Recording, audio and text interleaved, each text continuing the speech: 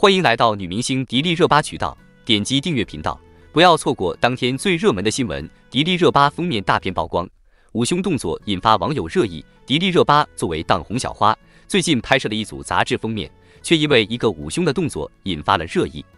有些网友质疑她的行为是否合适，认为这个动作有性暗示的嫌疑。但是我们不能因为一个动作就对美女进行恶意揣测和攻击。迪丽热巴的招牌捂胸动作，其实早就成为了她的标志之一。这次杂志封面上的捂胸动作，并不是对网上质疑声的回应，而是她对自己独特风格的表现。美女真是太冤了，拍个杂志还要被审判。迪丽热巴的杂志封面照片，不仅展现了她优美的身姿，更展现了她自信和独特的魅力。作为一位艺人，迪丽热巴在镜头前的表现力是非常出色的。她的每一个动作都经过精心的设计和排练。大家喜欢迪丽热巴的新杂志封面吗？对于质疑声，我们也要理性的看待，不能因为一个动作就随意批判他人。迪丽热巴的最新封面大片曝光，引发了网友们的广泛关注和热议，尤其是她的捂胸动作成为讨论的焦点。在面对这样的话题时，我们应该以理性和宽容的态度来看待。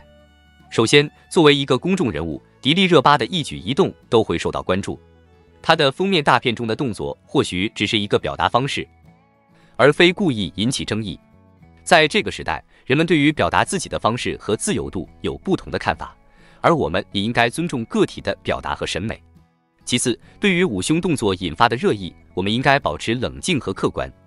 不同的人对于艺术和表演有不同的理解和接受度，这种差异是正常的。我们不应该过分解读一个动作或者一张照片。更不能仅仅根据个人主观感受就对别人进行指责和批评。在这个时刻，我想呼吁广大观众，让我们在讨论和评论时保持理性和善意，不要因为一个动作就贴上过多的标签，也不要过于苛求公众人物在每个瞬间都符合某种标准。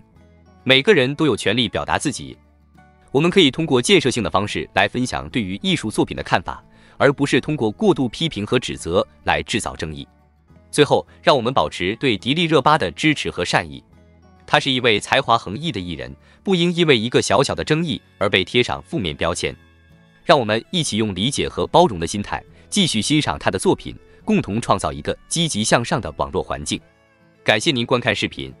如果您觉得本时事通讯有用，请不要忘记点赞、评论和订阅。祝您生活愉快，充满活力。再见。